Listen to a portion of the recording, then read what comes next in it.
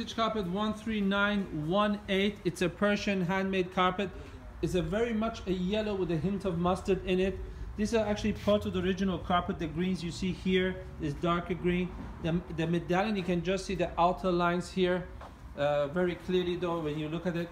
It really shines so much from this side. It's like a silky shine feel and look about it. Beautiful handmade carpet.